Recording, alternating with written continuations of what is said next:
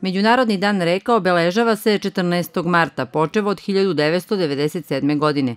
I posle višedecenijskog obeležavanja ovog značajnog datuma, reke su i dalje jedan od najosetljivijih ekosistema u Evropi.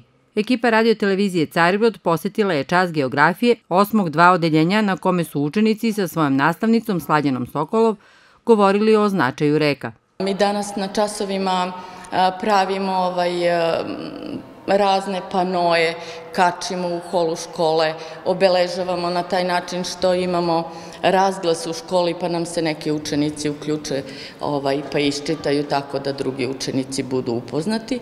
A, o rekama radimo od petog do osmog razreda i oni znaju da je već a, veliki značaj reka.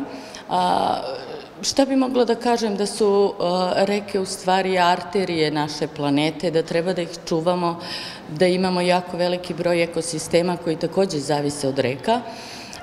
Reke imaju veliki značaj ne samo u vodosnadbevanju, nego i u, navodna, u navodnjavanju, u, a, ovaj, u proizvodnji električne energije.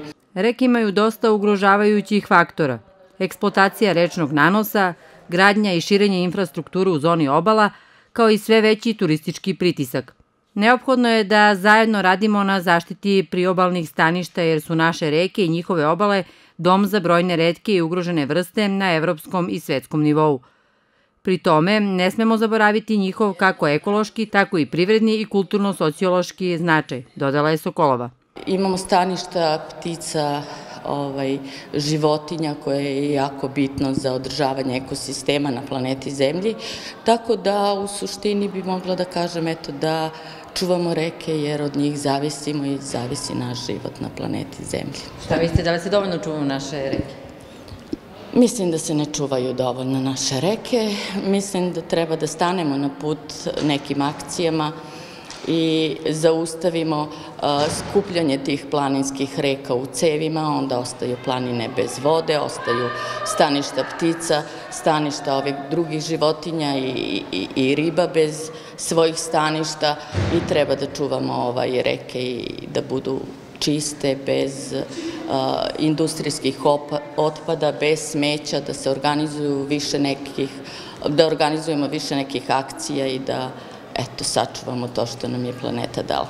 Sokolova smatra da turisti koji posećuju obale naših reka ipak imaju veću svest o ekologiji od nas samih. Mislim da je bolje stanje kod nas. Ipak nemamo industrijska postrojenja, ipak nemamo velike zagađivače koji bi mogli da unište naše ekosisteme. I mislim da su naše reke jako ovaj, čišće u odnosu na reke ovaj, velikih gradova. Naše reke su planinske reke, brze reke, čiste.